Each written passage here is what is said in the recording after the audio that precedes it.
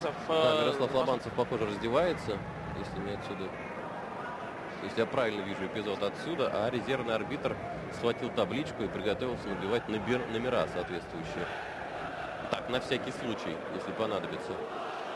Ну, Вильям Попов там абсолютно ни в чем не виноват, потому что Крешич не смог мяч удержать, ловил его и врезался в болгарского полузащитника.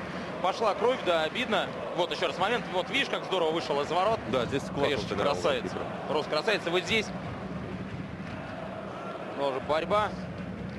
Да, и зацепился здесь. Споткнулся об него Попов. Вот, Да. наверное, в этом эпизоде Крешич получил травму.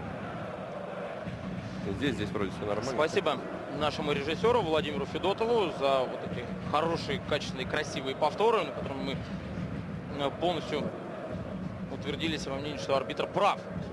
Никакого сайда не было. И момент еще пожирнее, чем у Глушакова был. После